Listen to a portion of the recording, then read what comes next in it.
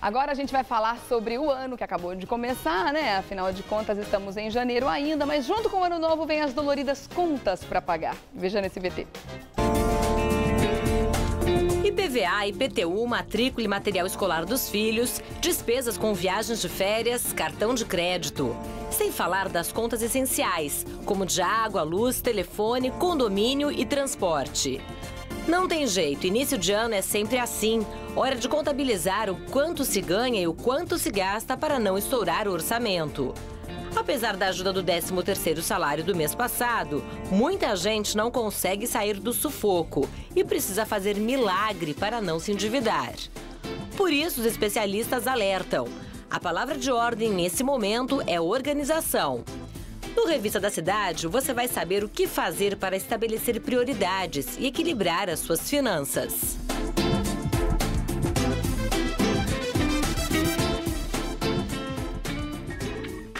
E que sufoco em janeiro, né, gente? Vamos sair do sufoco de uma vez por todas? Vamos nos organizar realmente, respeitar o dinheiro como ele merece? Marcelo Segredo está aqui para ajudar a gente nisso. Olá, tudo bem? Tudo bem? Bem-vindo ao Revista Obrigado. este ano, né? Que tá só começando. Só começando. Feliz ano novo para você, Para você também, a todos Obrigada. que nos acompanham. E feliz ano novo a todos, né? Mesmo as pessoas que estão com a corda no pescoço, porque realmente é, a gente sabe que muitas são as contas, muitas, muitos são os compromissos, inclusive quem tem filhos em idade escolar, isso pesa ainda mais. Tem material para comprar, tem a matrícula que muitas escolas Nossa, nem, nem me fala. facilitam, não parcela você tem. Nem Ai, pela cara dele, nem me fala, foi ótimo. Ontem eu fui Ah. comprar material escolar para minha E filha. aí, como é que foi essa gente. experiência? É, como o pessoal diz, né? É a dolorosa, porque dolorosa. realmente dói, viu? É. Como aumentou o preço do material escolar. Bom, enfim, começo de ano, a maioria dos, dos serviços é, prestados tem um aumento médio aí de um ano para o outro em torno de 10%, né? É, né? Agora, o material escolar realmente é um caso à parte, né? Tem aumento aí, tem produtos que aumentaram em mais de 80% de um ano para o outro. E tem uma variação muito grande de um lugar para o outro também, por isso que é Tem importante a gente mais de pesquisar, né? 400%. É, por é isso muito que é importante pesquisar. Sim. Já aproveitando que a gente está falando de material escolar, você tem algumas dicas para dar para que as pessoas consigam? Eu imagino que apesar de cara a sua conta, ela deve ter ficado mais barata porque você entendendo do assunto foi Sim. Em cima das questões, da- das alternativas para conseguir Exato. economizar. Quais são as dicas que você dá? Levar os filhos é uma coisa boa? Super importante É? levar os filhos. É. A maioria fala que não, né? Mas a maioria assim, fala que não, porque eles vão ficar pedindo sempre mais caro, né? Então, mas você tem que é, preparar a criança para o futuro, né, É. Regiane? Porque aquilo que você não ensinar para o seu filho, a vida vai acabar ensinando de uma forma é, um pouco mais, Mais dura, difícil, é. mais difícil, né? Então, assim, é levar a criança junto. é, por exemplo, minha filha, eu, levei, eu eu a levei para comprar mochila. Ela queria determinada mochila de determinada marca, é, só que era 100 reais mais cara do Hum. que uma outra mochila que estaria atendendo Todas as necessidades dela. todas as necessidades durante todo o ano e ainda vinha de brinde, brinde, né, entre aspas, Hum. Tá. ainda vinha a lancheira, vinha Olha a só. frasqueira térmica tal, e a outra não tinha nada disso. Tá. Então você tem que explicar para a criança, é, a, a criança tem que aprender a agregar valor às coisas, né? Então, olha, com o dinheiro que eu economizo isso, são 100 reais que eu economizo, nós podemos ir tomar um lanche, podemos ir ao shopping, ao Excelente cinema. exemplo. Uhum. Então a criança percebe, poxa, eu consigo comprar isso e ainda tem um outro benefício em troca. É verdade, excelente exemplo. Então a criança deve sim participar. Entender disso desde o começo, compra. né? Exato. Bom, vamos entender nosso começo de ano, então. Essas contas aqui não tem jeito, temos que pagar. Quem tem Sem carro tem que dúvida. pagar IPVA, quem tem casa própria tem que pagar IPTU também, que mesmo quem mora de aluguel também paga, né? Como é que funciona? É, qual é a, a- vantagem de você pagar isso à vista, se é que tem alguma vantagem? O desconto é tão bom assim? Olha, eh, Regiane, o- desconto é muito pequeno. Hum. Veja que no IPVA, apenas 3%. Né?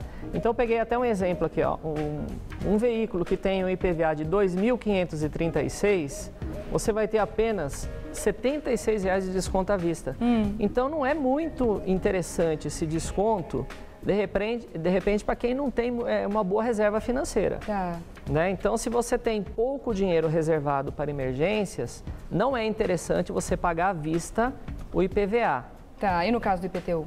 A mesma coisa, IPTU, veja, é, 1% a mais, 4%, né? Nesse exemplo aqui, num IPTU de 1.250 reais, a economia é de apenas 50 reais. Tá. Agora, se você tem uma boa reserva financeira, dinheiro está parado lá na poupança, obviamente, né, e se esse dinheiro não vai te fazer falta, obviamente, é mais interessante pagar à vista, porque você acaba tendo uma economia maior do que aquele dinheiro vai acabar do rendendo o na poupança. que teria na poupança. Exato. Tá. Então, é Bom, então, se você faz isso. parte daquela, infelizmente, pequena parcela da população que tem dinheiro sobrando, Exato. é interessante pagar à vista, caso Ah, contrário, parcele. É, Tá. porque parcelamento é aquela coisa, né? Você nunca sabe o dia de amanhã. É. Então, o que você puder, eu pra- é, não gosto muito de nada parcelado. Eu também sou adepta do à que vista. puder pagar à vista, paga à vista, tira o problema da frente. E a gente já consegue o desconto e, o dinheiro do futuro é para gastar no futuro. né? Exatamente. Isso é o mais importante. Que outras dicas você pode dar para que a gente consiga organizar o orçamento do ano? É importante a gente começar já a pensar nisso, porque é claro que essas contas elas Sim. vão chegar, não tem jeito. É, é importante já começar a pensar nisso em dezembro, quando a gente recebe a segunda parcela do 13 terceiro, já começar a fazer uma reserva para essas contas extras do começo Sem do ano? dúvida. Não só o 13 terceiro, como também você precisa ter uma programação é, durante todo o ano, durante toda a sua vida. Hum. Né?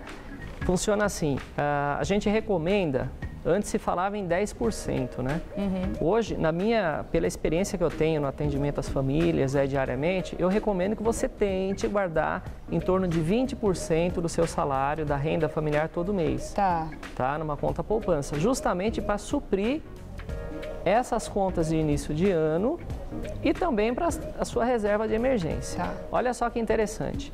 É, todos nós estamos condicionados sempre a gastar.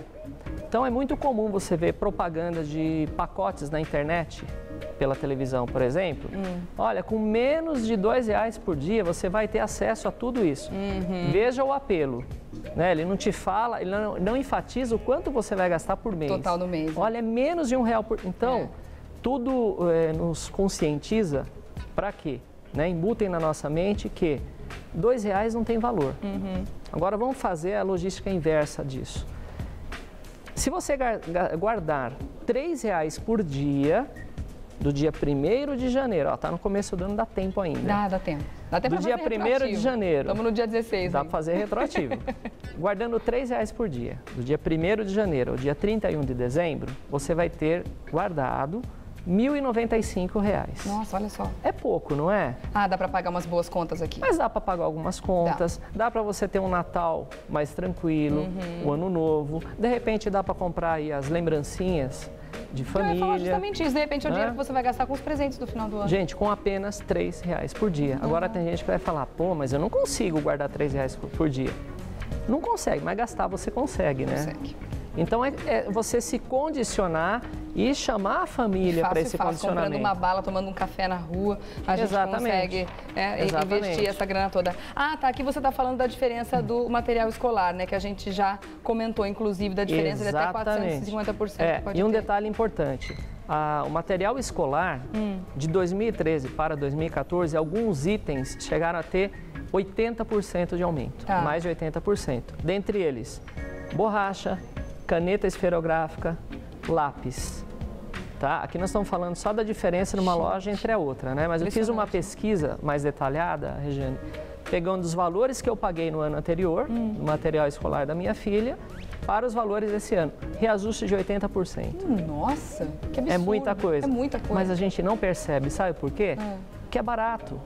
São Entre aspas, o custo é pequeno, é. então você acaba não é, percebendo disso. Mas olha só que interessante, nessa conta que você fez os R$ reais por dia, a economia que você faria nessa caneta, por exemplo, de 85 centavos para 4,50... A mesma caneta, hein, gente? É a mesma, a mesma marca. tudo. Mesma marca. Não é que aqui é uma esferográfica comum e aqui é aquela Não. caneta cheia das histórias, não. Não, a mesma caneta, exato. Essa diferença de preço aqui já são os R$ reais que Os você reais que agora, você economiza. que você vai economizar no dia para ter aquele dinheirinho A questão é que as pessoas não se atentam a detalhes. Uhum. Você precisa se atentar a detalhe. Porque o que faz a economia de uma família ir para o ralo são as pequenas coisas. É verdade, é verdade. Né? Aliás, é, é interessante que as pessoas já tomem uma outra conscientização a partir de agora, já que o ano está começando, né? Exato. De que é, o dinheiro, realmente, se a gente não respeitar, ele também não nos respeita. De né? forma- se a gente aceita achar, desaforo. Exatamente. Se a gente achar que esses dois reais, esses três reais não estão fazendo diferença, no bolo geral eles fazem uma diferença absurda. Se as pessoas Exato. tivessem aí ah, o, o costume, né, que é um costume bem bacana,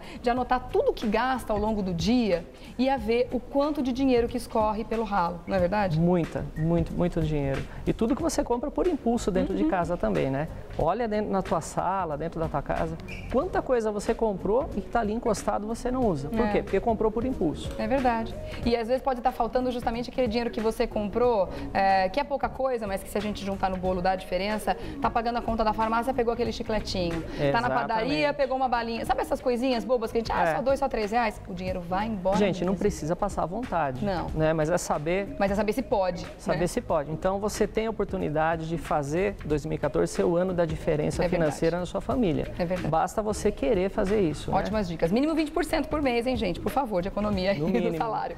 marcelosegredo.com.br é o contato do Marcelo para você, de repente, qualquer dúvida a respeito de economia, você vai entrar, vai fazer contato com o Marcelo, que pode dar uma consultoria muito interessante para você também. Obrigada. Obrigado. Até a próxima. Eu que agradeço. Ótimo ano pra Grande você, viu? abraço. Legal.